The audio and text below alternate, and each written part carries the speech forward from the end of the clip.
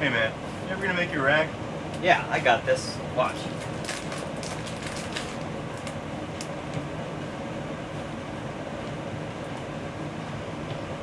I got this projector online. Cool, huh? Berthing compartments should be well lighted. That includes properly operating red lights.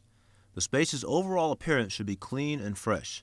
The temperature should be comfortable and you should be able to breathe in fresh air. Lockers and bunks should be well maintained. The sheet metal in good condition, no broken or bent doors, hinges, or hasps, and the escape panel unobstructed. Paint should also be in good condition.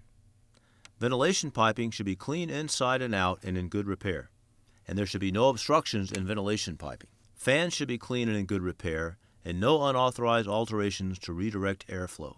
Again, this is not the place to get creative. Passageways and privacy curtains should be clean and in place. Mattresses and pillows should be clean and in good condition. Bulletin boards should be present and contain relevant material like the plan of the day, watch quarter and station bill, other posted material as long as it's public or private should be appropriate. Cleaning gear lockers should be clean, well vented, and properly stowed. No dirty swabs or other matter should be present.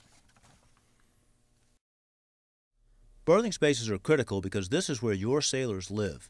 Sanitation, ventilation, electrical safety, storage, and escape routes are some of the things that you must look at every time you go through a berthing compartment.